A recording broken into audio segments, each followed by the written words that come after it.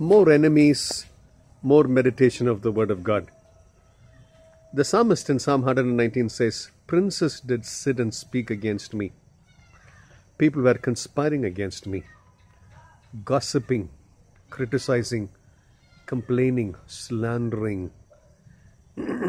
but I sat and meditated on thy word, the psalmist says.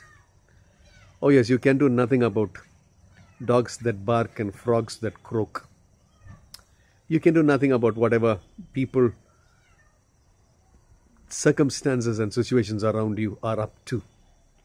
What you can do is just sit and meditate on the Word of God. Yes. And when he did sit and meditate on the Word of God, the counsel of the princes, the counsel, the machinations of enemies are of no avail.